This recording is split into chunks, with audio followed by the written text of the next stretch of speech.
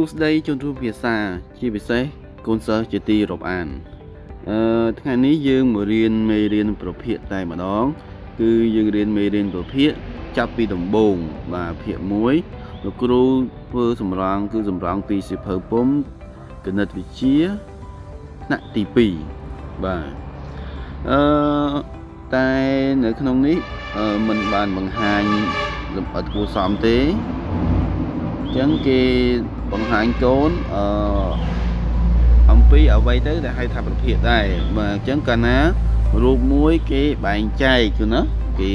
គេកាត់គេបែងចែកជាចំណែកជាជាភាគជាផ្នែកអញ្ចឹងវាបានជាប្រភេទភាគអញ្ចឹងមុននឹងលោកគ្រូចូលរៀននៅទៅតាមសភៅពុំលោកគ្រូសូមនាំកូនបកឲ្យថយក្រោយបន្តិចទៀត បាទទៅរៀនមើលអឺដូចជាលំហាត់ដែរឥឡូវយើងមកដល់អឺបាទមេរៀនឲ្យកូនស្គាល់ប្រភេទបាទអញ្ចឹងលោកគ្រូនឹងបញ្យលបញ្យលឲ្យកូនហាត់ធ្វើតែម្ដងអញ្ចឹងរូបនេះគឺរូបអីកូនរូបអឺរូបរង្វង់បាទរូបរង្វង់តាមពិតទៅរូបរង្វង់ហ្នឹងគឺមាន គឺរូបរង្វង់តែមួយទេ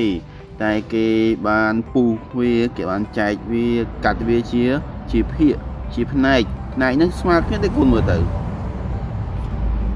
ហ្នឹងគុណស្មើគ្នាទេស្មើបាទចឹងរូបហ្នឹងរូបរង្វង់ហ្នឹងគេបានកាត់វាឬក៏ថាគូសវាជាផ្នែកជាភាគស្មើស្មើគ្នាកូនរាប់មើលតើវាមានទៅដល់ប៉ុន្មានភាគកូនប៉ុន្មានផ្នែកប៉ុន្មានភាគ 1 2 3 4 5 6 7 8អញ្ចឹងរូបហ្នឹងគឺមាន8អីកូន8ភាគបាទ8ភាគឬយើងនិយាយមួយយ៉ាងទៀតបានថា8 8ផ្នែកបាទអរគុណអញ្ចឹងចុះរូបនេះគឺរូបអីដំបងគេ បាទដំបងគេរូប4ជ្រុងហ្នឹងគឺការ៉េពីព្រោះវាស្មើគ្នាជ្រុងវាស្មើគ្នាគាត់ទាំង4ជ្រុង ចឹងរូបធំគឺការ៉េតែមួយទេហើយគេបានពុះវាជាប្រមាណផ្នែកកូន4ជា4ផ្នែកយើងហៅ4អី4ភាគ4ភាគបាទ4ផ្នែកឬក៏4ភាគ4ភាគយ៉ាងម៉េចកូន4ភាគដូចគ្នាឬខុសខុសគ្នាដូចគ្នាបាទដូចគ្នាបានន័យថាប៉ុនប៉ុនគ្នា4ភាគស្មើស្មើគ្នាណាកូនណារូបការ៉េហើយចុះរូបទី3នេះកូនរូបទី3នេះអូ ចាក់តុកងកែងអេរូបអីកូនត្រីកោណត្រីកោណបាទត្រូវមិនមែនចាក់តុទេចាក់តុ4ហ្នឹងកូនណាអញ្ចឹងរូបត្រីកោណអញ្ចឹងរូបដំបូងរបស់វាគឺត្រីកោណត្រីកោណជ្រុងប៉ុន្មានកូនជ្រុង3ជ្រុង3បាទហើយគេបានពុះវាជាប្រមាណ2ពុះវាជា2ផ្នែកស្មើគ្នាពុះពីលើកូនណាបាទអញ្ចឹងបង្កើតបានត្រីកោណ2 2ទៀតបាទរូបហ្នឹងគេហៅមិញមិញយើងថា2ចឹងណាបាទ2ផ្នែកឬក៏2 2ភាគអញ្ចឹង2ភាគឬយើងហៅភាសាមួយយ៉ាងទៀតគេហៅថាកន្លះហ្នឹងកូនណាកន្លះកន្លះមែនអត់បាទពាក្យកដាម្នាក់អូបាទពាក្យកដាម្នាក់ហ្នឹងគេហៅថាកនកន្លះអញ្ចឹងយើងឲ្យហៅថាកន្លះ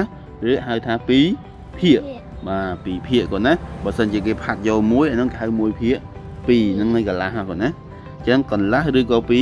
2ភាគ2ភាគស្មើគ្នាបានន័យថាវាបានពុះពាក្យកដាហើយពាក្យកដាក៏បាន កន្លះក៏បានមែនទេឬហៅថាពីពីភាគភាគ2ឥឡូវយើងទៅមើលរូបខាងក្រោមទាំងអស់គ្នាបាទអញ្ចឹងលោកគ្រូនឹងឲ្យកូនទៅសេតាមអក្សរខាងលើមិញហ្នឹងតាមពាក្យខាងលើតោះកូនមើលរូបនេះតើគេបានបែងចែកជាប្រមាណភាគប្រមាណផ្នែកស្មើគ្នាជារាប់មើលរាប់មើលលោកគ្រូរាប់តាមទិញការ1 2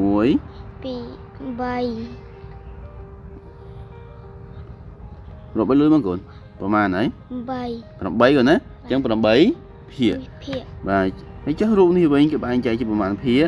3បាទ3ចុះរូបនេះវិញ4 4ណាកូនណាបាទ4តាអញ្ចឹងយើងទៅមើលរូបខាងក្រោមតិចណារូបថើនីមៀតអឺរូបនេះរូបអីកូនមិញរូបតែបែងចែកជាប្រមាណភាគ2 2បាទចុះរូបនេះរូបអីត្រីកោណត្រីកោណបែងចែកជាប្រមាណភាគស្មើគ្នា4 4បាទចុះអា នេះគេហៅបញ្ចកោណមើលទៅលោកគ្រូរាប់សិនណា1 2 3 4 5 6អូមិនមែនបញ្ចកោណទេឆកកោណនេះយ៉ាង6ភាគកូនណា6ភាគស្មើគ្នាអញ្ចឹងយើងទៅមើលរូបចុងក្រោយបាទតើរូបនេះជារូបអ្វីដំបូងរូបអឺចាក់ទៅកោនកែងអត់ទេរូបការ៉េគាត់ណា ការ៉េ4ជ្រុងស្មើនេះដល់ពេលគេបែងចែកចេញជាប្រមាណភាគអឺ6 6ភាគបាទរូបទូចទូចៗហ្នឹងរូបចតុកោណគាត់ណាបាទរូបដំបូងការ៉េតែថាគេបែងតូចតូចជា6ភាគអញ្ចឹងវាបានទៅជាចតុកោណតូចតូចបាទណាចតុកោណកែងតូចតូច6ភាគអញ្ចឹងណាបើបែងចែកជា4អានោះចេញការ៉េស្មើដល់បែងចែកទៅដល់6ចេញជាទៅវែងបាទចតុកោណកែងចុះរូបនេះរូបអីគាត់ រូបអ៊ំវងរង្វង់គេបែងជាប៉ុន្មានភាគ4 4ល្អណាស់ហើយចុះរូបចុងក្រោយចាក់ទៅកោនកែងអេនៅតែច្រឡំអាហ្នឹង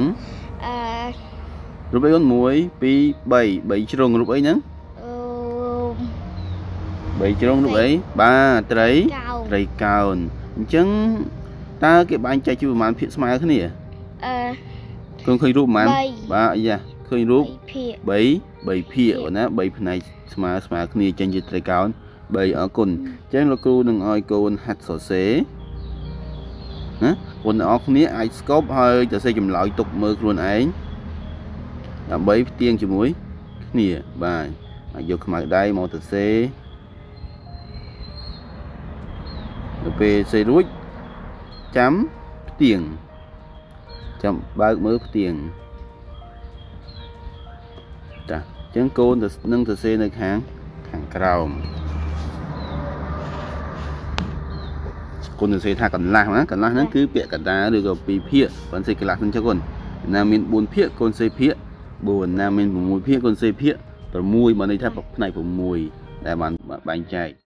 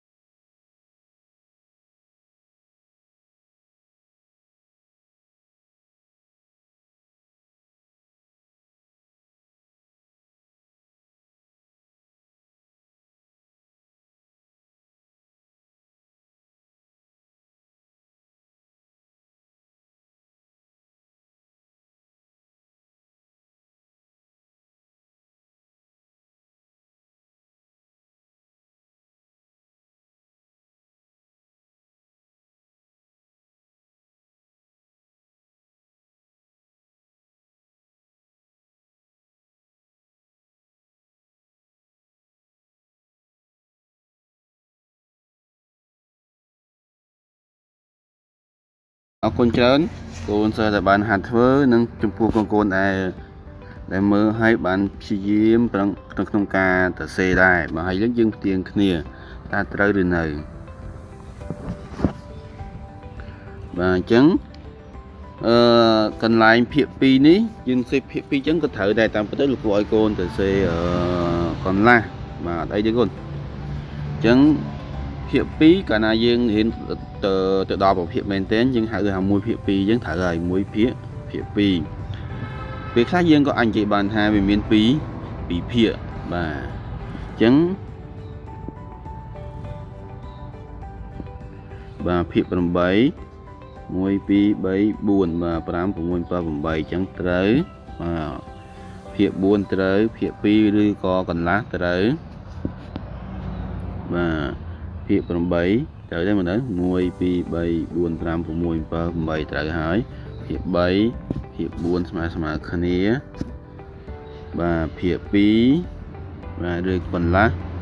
នេះភាគប្រមាណភាគ4ភាគ6 1 2 3 1 2 3តាភាគ6ត្រូវភាគ4ត្រូវភាគ3ត្រូវបាទអរគុណអញ្ចឹងរួចហើយ ឥឡូវយើងចូលទៅលំហាត់ទី1អឺមួយទៀតតែម្ដងទៅទី2មិនមែនទី1ទេគេឲ្យកូនអឺចូលផាត់ពណ៌រូបនីមួយនីមួយដែលបង្ហាញពីភាគស្មើគ្នាអញ្ចឹងកូនស្គាល់ពីភាគអីភាគ2ហ្នឹងណាអញ្ចឹងកូនផាត់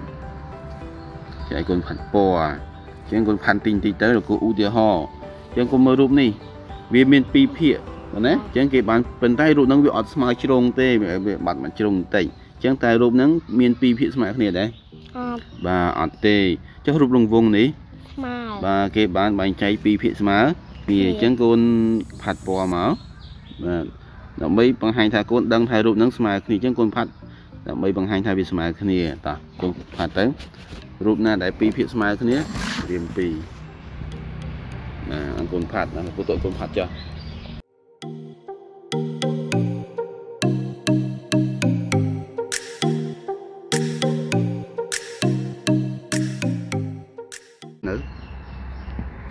បាទអស់ហើយអរគុណច្រើនកូនដែលហាត់ដែលបានរៀនផាត់ជាមួយគ្នាហើយនឹងកូនដែលគិតអញ្ចឹងកូនផាត់ទៀងគ្រិចបន្តិចតែអត់អីទេកូនអញ្ចឹងត្រូវហើយណាអញ្ចឹង2អញ្ចឹងរូបហ្នឹងគឺពីរភាគស្មើគ្នារូបនេះក៏ពីរភាគស្មើគ្នាដែររូបនេះអត់ទេបាទរូបនេះក៏អត់ដែរអឺរូបនេះគឺពីរភាគស្មើគ្នារូបនេះពីរភាគប៉ុន្តែអត់ស្មើគ្នាស្មើគ្នាទេ បាទរូបនេះពីរភាគស្មើគ្នាត្រូវរូបនេះក៏ពីរភាគស្មើគ្នាដែររូបបេះដូងនេះអត់ត្រូវទេបាទអរគុណច្រើនអញ្ចឹងយើង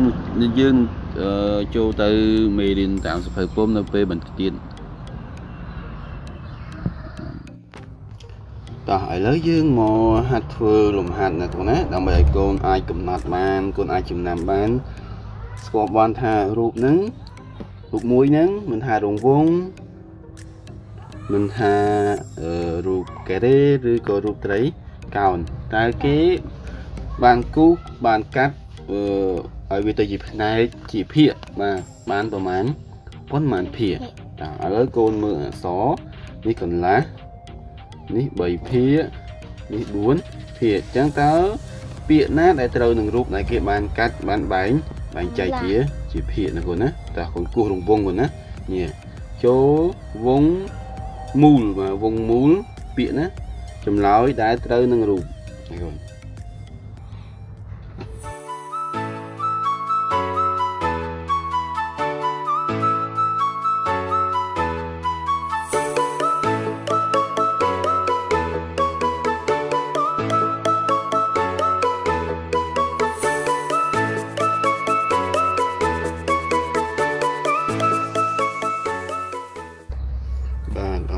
អញ្ចឹងចាំមើលលោកគ្រូផ្ទៀងតើកូនបានពុះពាក្យត្រូវនឹងរូបឬទេបាទកន្លះកន្លះហ្នឹងមានន័យថាវាមានពីរពីរភាគត្រូវនេះគឺ4ភាគណាវាភាគ4អឺ3ភាគត្រូវនេះក៏3ភាគដែរត្រូវ3ភាគ1 2 3 4បាទ4ភាគត្រូវ កន្លះត្រូវកន្លះឬអីកូនអឺពីរពីរភាគបាទវាពីរភាគភាគណាគេយកយកតន់អឺបានធ្វើទេបានផាត់ទេ4ភាគណា1 2 3 4កន្លះត្រូវ3ភាគត្រូវកន្លះត្រូវ4ភាគត្រូវបាទអរគុណច្រើនអឺជាពិសេសកូនដែលបានមើលនិងបានគិតជាមួយគ្នា